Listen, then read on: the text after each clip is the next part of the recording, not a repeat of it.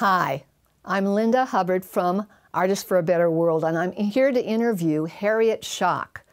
She's a multifaceted artist, singer, songwriter, author. She's even designed a pendant. Oh my God. So amazing person. Thank you, Harriet, for being here. As far as our group is concerned, and all the artists in our group, which is a whole variety, you've kind of covered most of it, except for poets or a painter. I'm not a painter. uh, except for that. But you know, I bet um, all of our guys could actually learn something from what you have to say. And so the first question I have is what do you think an artist can really benefit by having a whole group of artists?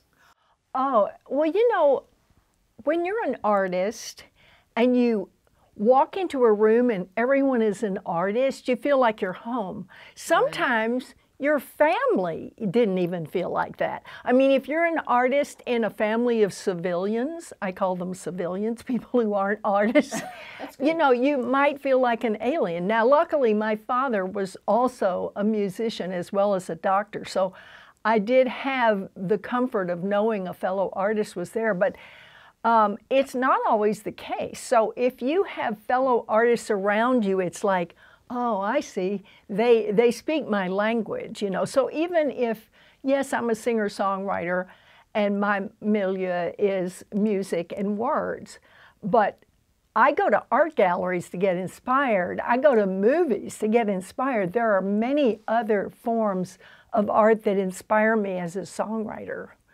And like Billy Collins, the poet, just I just did his master class and I read him constantly. He's just so brilliant. And yeah, I'm, I'm not technically a poet anymore, so I just do it for fun. You know? Exactly. Because we're an artist, we want to create. Mm-hmm. That's the whole thing. So, um, also, um, could you tell our artists a little bit about the key points since you're such a master songwriter? Thank you.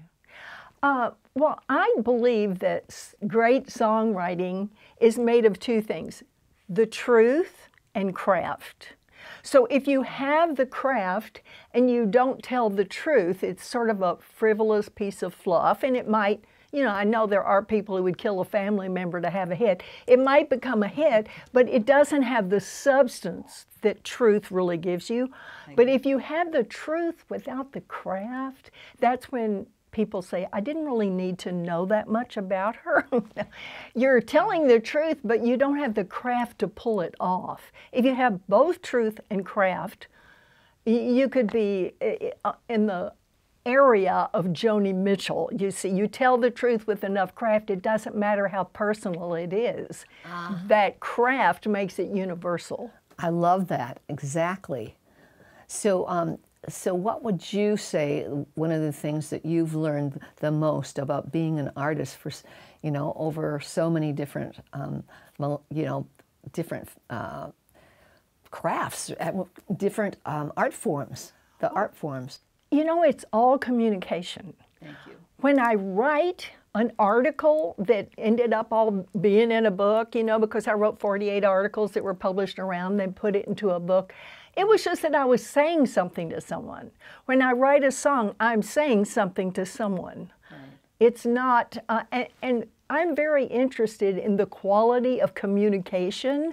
I'm upset when people use the wrong word for thing, not because I'm a grammar Nazi, but because we're losing the word infer because we're using it to mean imply, but it doesn't mean imply. Right. It means to glean from what someone else says. So language is really important, and the language of music, of composition, is really important. If you can affect someone with the music you create, that's as important as the words, you know. It, there, it's, it's the wavelength on which the words travel. So if you can get to them with that, they don't even have to speak your language and they're affected. That is so true. There's some songs that are worldwide doesn't matter what language they're in, and people love it because mm-hmm. they they've got that whole wavelength that they perceive. That's true. So on your your end, what do you think is the most challenging thing that you've ever done? Well, I have been signed to a number of publishing companies. They are the people who supposedly get your songs out there, whatever.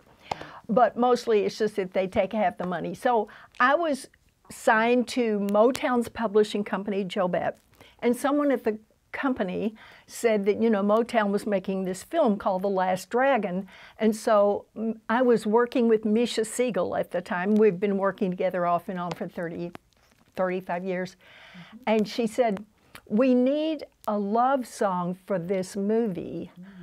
And I had to get into the head of a young male African American who studied Kung Fu, was a virgin, and was falling in love for the first time. Whoa. So I said, okay, what do I have in common with this guy? I'm not studying Kung, Kung Fu. Uh, most of those things did not apply, but I had fallen in love for the first time. So I created a, lyrically, I created um, a metaphor of how frightening and exhilarating it was. And I wrote the lyric to Misha Segal's beautiful melody of First Time on a Ferris Wheel. Because it, it, you're scared, but you're, oh, it's so exciting. And that's the way love is, that's the way a Ferris wheel is. So 40 people have sung it. So apparently it, it worked. Absolutely, absolutely. I, yes, that's and plus your song um, "Ain't No Way to Treat a Lady." That one is ultimately everybody knows that. Well, if you you know, it's strange they've made a movie now about Helen Reddy's life because a lot of people didn't really know who she was. The whole generation when she had number eight number one hits, so she should be known, right. but she decided to go off and do other things, and so she came back and she was just as good as ever. But that decade or so she took off, maybe people didn't remember her. You know, fame is so fleeting, good heavens. But anyway, I was thrilled that she heard my record on the radio and decided to cover it. And she was very kind to me. She also recorded my song Mama, wow. which was, uh, yeah, she liked closing her show with it. Excellent. Excellent. Yes. And what do you think is the key thing that you got out of being? You, you, go into songwriting, although you can do so many other things. What is the key reason for that? What is it about songwriting that hits you, your soul? Oh, that's a wonderful question. It's because music is so important to me. I mean, mm. I did uh, poetry writing in college, and but I have to have the music that goes directly to the soul of a person. And if you can deliver a lyric they can relate to, it helps to have visuals in your lyric, you know, to, to have them see it. And then that is the reason that I I kind of gave up script writing. I came out here to do that. And I studied with Syd Field and all these things, but I had already had a hit as a songwriter, so I thought, you know, why are you doing these scripts when it takes forever? And, you know, plot point one was not on page 20 and they didn't even read it. And so, you know, just stop it and write songs. And so I've done seven albums as a singer songwriter, and I love it. I love the performing also, you know. And, and it takes less time and you're so good at it. Thank you. It, it takes less time because it's not the long form with an arc and the, you know, a denouement and all that. Well, it sort of is, and you have to do it all in three minutes, so that's kind of hard, but. You've got that down. It's so rewarding, though, when you get to sing a new song at a concert or something and people like it and they say something to you afterwards. There's nothing like that. Uh, I'd say the, the whole thing is the, the people and their, their enjoyment of your music. Yeah, well, I, yeah, I have to have the men cry too. I mean, if, if the men aren't crying, I've done something wrong. I love that.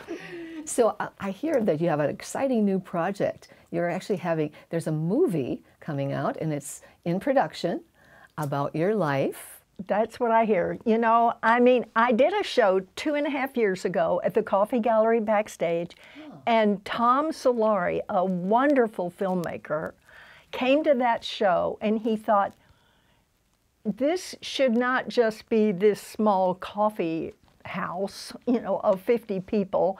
I think this should be known more broadly. Right. So he talked to me about it, and I thought, well, I can't write a book about my life because I'm really now. I, am not, I don't remember what happened way back when and everything.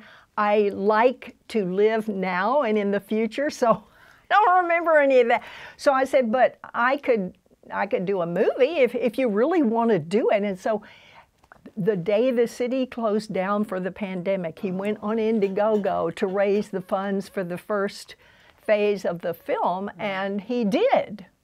And so from that, he recorded, he filmed my concert of two hours uh, with five cameras, and Randy Tobin did the sound.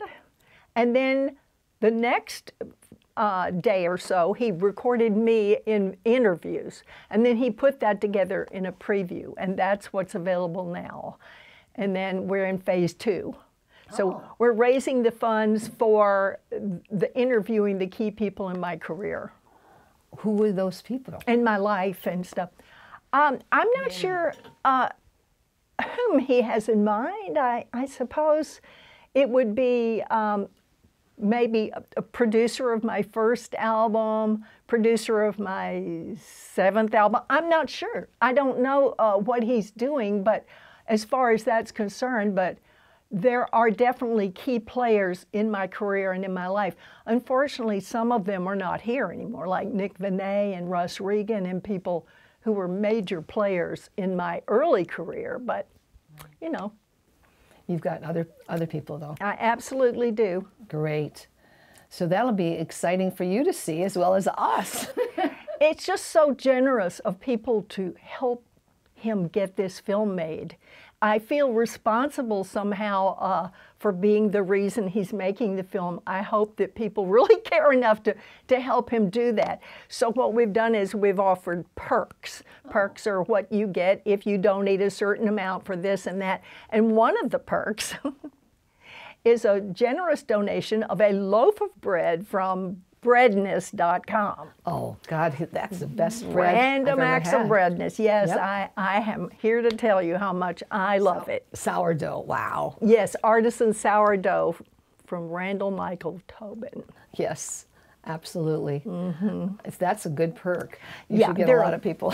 there are a lot of them. There's a, you know, uh, they found a few copies of my original Hollywood Town album that started the whole thing and, you know, covers by Helen, you know, and Manfred Mann and the Partridge Family and all this, but it was the original album, and so great. Some of those are going.